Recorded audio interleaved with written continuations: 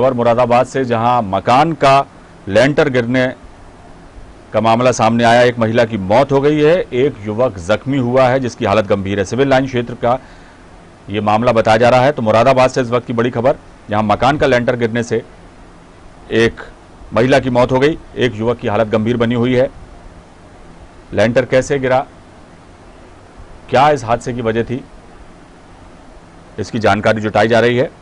तो मुरादाबाद से इस वक्त की बड़ी खबर, जहाँ मकान का लेंटर गिरने से एक महिला की मौत हो गई। एक शख्स गंभीर रूप से घायल हुआ है।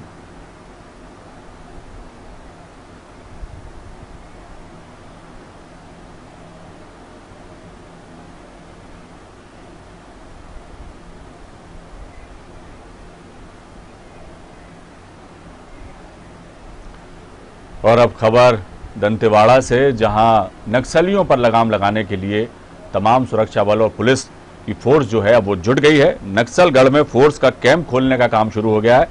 कटे कल्याण के तेलम टेटम में ये नया सेना का कैंप खुल रहा है। नक्सलियों के विरोध के चलते ग्रामीण भी विरोध कर रहे हैं, हालाँकि इस कैंप लगाने का तो दंतेवाड़ा से इस वक्त की बड़ी खबर, जहाँ नक्सलगढ़ में फोर्स का कैंप खोलने का काम शुरू हो गया है। राजेंद्र वाजपेयी हमारे विशेष संवाददाता हैं, जगदलपुर के फ़ोन लाइन पर मौजूद हैं।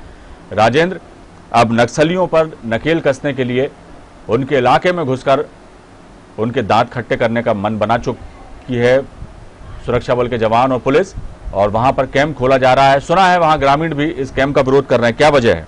नक्सलियों के बड़े लीडर मुकाम करते थे जिसमें वो अपने आप को सुरक्षित मानते थे। ऐसे इलाकों में नक्सली जो है अब असुरक्षित माने जा रहे हैं कि पुलिस नए कैंप ऐसे जगह खोल रही है।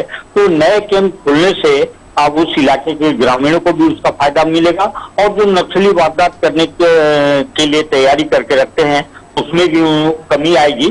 और नक्सलियों में इस बात को लेकर काफ़ी बेचैनी भी है, क्योंकि ये उनका बिल्कुल सेफ़ जोन था और ये उनका एक नक्सल गढ़ था, इस इलाके में उनकी हुकूमत चलती थी।